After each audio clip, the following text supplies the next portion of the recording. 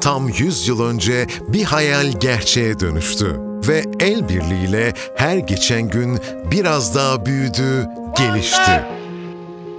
Büyük Türk milletinin bir ferdi olarak bu kutlu güne kavuşmanın en derin sevinci heyecanı içindeyim. Sağlam temeller üzerine kurulan bu ülkenin gelişiminin bir parçası olmaktan, inşaat sektöründeki gücün, dayanıklılığın ve inovasyonun simgesi olmaktan gurur duyuyoruz. Ülkemizin dönüşümünü şekillendirmek ve hayalleri gerçeğe dönüştürmek için çalışıyor ve inşaat sektörünün temel taşı olan malzemelerin kalitesini yükseltiyoruz. Sürdürülebilirliği teşvik ediyor ve geleceği inşa etmek için teknolojiye yatırım yapıyoruz. Bugün Türkiye'nin her köşesinde ve dünyanın dört bir yanında gördüğünüz okulların, hastanelerin, köprülerin arkasındayız. 36 alt sektörde ürettiğimiz her inşaat malzemesi bir yüzyılın mirasını taşıyor.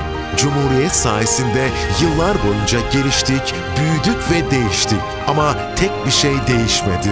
Türkiye'nin gelişimine olan bağlılığımız. Türkiye İmsat. Gelecek yüzyılları kalite ve güvenle inşa etmek için buradayız.